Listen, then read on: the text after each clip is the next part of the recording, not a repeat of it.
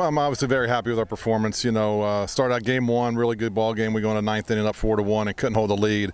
Um, so we talked to the team. I said we can come out one or two ways. We can either fold up or, or really step it up. And our guys obviously chose to step up. And we were just we were good all weekend. I thought. You know, defensively we're we've been good all year, uh, but obviously offensively we put up 18 and 15 runs and then a great two to one ball game yesterday. So um, I think we got uh, got everything going the right way right now, and with pitching, defense, and offense, and we've got to keep up that good balance of baseball last year we had a bunch of freshmen run around out there. and We're still young. We really only have one true senior, I think, uh, running around out here, and, and that's Billy Marion. But, uh, you know, I just think hard work, and, and I think our coaches have really um, have done a great job getting our guys ready. And, and, and with the big long layoff, that's really tough because we didn't have a, a, fall season for, for the most part with COVID.